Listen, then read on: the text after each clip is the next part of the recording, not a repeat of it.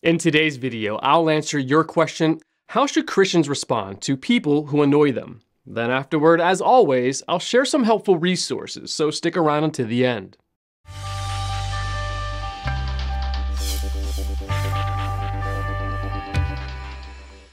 Often, when we are annoyed by someone's actions, words, or behavior, it's because that person has failed to understand or use a social cue that we think is obvious.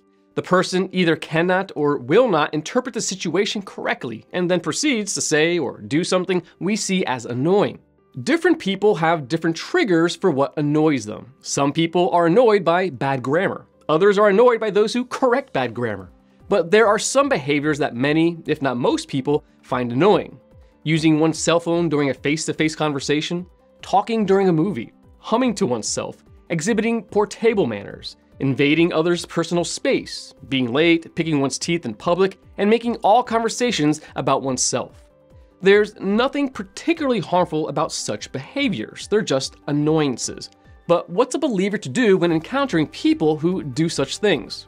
First, we must deal with our own reaction to people who annoy us. We cannot control another person's behavior. We most certainly are called to control our own. 2 Timothy chapter 1 verse 7 says, "For the spirit God gave us does not make us timid, but gives us power, love, and self-discipline."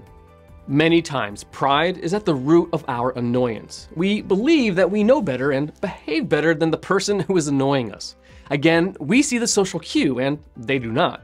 We take issue with that person and his or her failure to properly behave. After an inward check on our hearts, we must ask the Holy Spirit for help in seeing the person and the situation from their point of view. A fruit of the Holy Spirit is patience, Galatians chapter 5 verses 22 through 23. And patience is definitely needed when dealing with people who annoy us.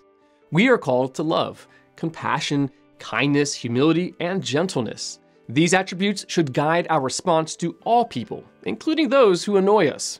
There were several times that the disciples wanted to prevent people from annoying Jesus. At various times, children, a blind man, a Samaritan woman, and a prostitute with perfume wanted to interact with Jesus, and the disciples or others desired to prevent them from bothering the Lord. But Jesus was not annoyed. He never put social norms above loving the person in front of him. When someone annoys us, we must first check our hearts and then ask the Holy Spirit for help in reflecting Jesus Christ to others. If love covers all wrongs, Proverbs chapter 10 verse 12, then love can surely cover annoyances. Want to learn more? Subscribe so you don't miss the next video. Visit GotQuestions.org for more great content and check out the details section below this video. There you'll find one book I recommend along with several links to related questions. If you'd like to learn about Bible Munch or if you're interested in bite-sized devotionals, subscribe to Bible Munch on YouTube. It's linked right here. Now remember, got questions? The Bible has answers. We'll help you find them.